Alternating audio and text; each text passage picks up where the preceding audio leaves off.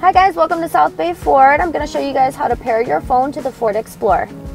Alright guys, the first thing you're going to do is you're going to unlock your phone and you're going to go into your settings. You're going to click on your Bluetooth and you're going to make sure that your Bluetooth is turned on.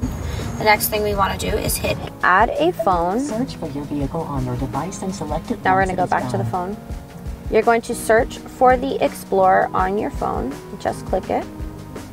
Confirm that the pin displayed on sync. We're going to make sure that the digits here match the digits up on the screen.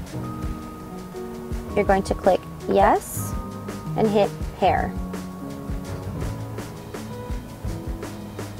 Now we are successfully paired. It's going to ask you if you would like to activate the 911 assist, which is a great safety feature. Feature I highly recommend.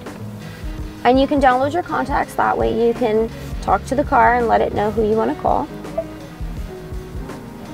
Here you'll be able to see all of your contacts, your text messages,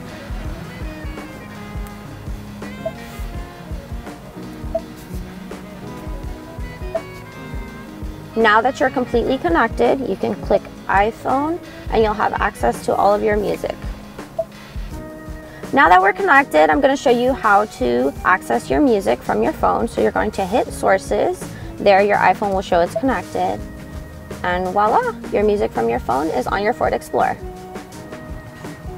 Alright guys, so now you know how to pair your phone with the Ford Explorer. If you have any questions, go ahead and leave them in the comments down below.